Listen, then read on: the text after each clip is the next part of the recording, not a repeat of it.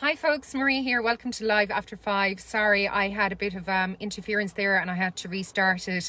Apologies. Look, this evening I want to let you all know about some new listings that we've got coming up. We've got not one, but not two, but three houses that we're going to be putting on the market in the next week to two weeks.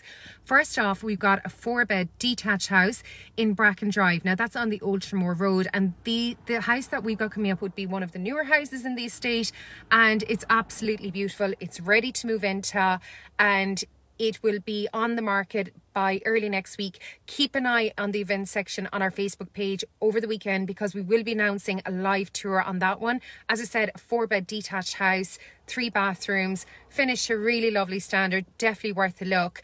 Pricing and everything will be on our website as well early next week. So keep an eye on libertyblue.ie for our listings as well.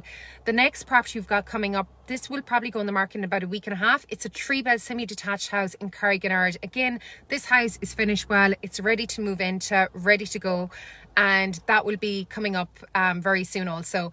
The next house we've got coming up is a beautiful family home. It's a semi-detached house in Mount Suir eh, off Gracedieu Road, and that will be coming on the market early next week. We'll be announcing a Facebook Live event on our Facebook page very soon. We're going to be doing a live after the weekend. Now, this house is actually finished like a show house. Credit to the owners, they have it absolutely beautiful. It'll be well worth a look, and that will be guided at 219,000 euros it literally is move in with your furniture and suitcases ready to go.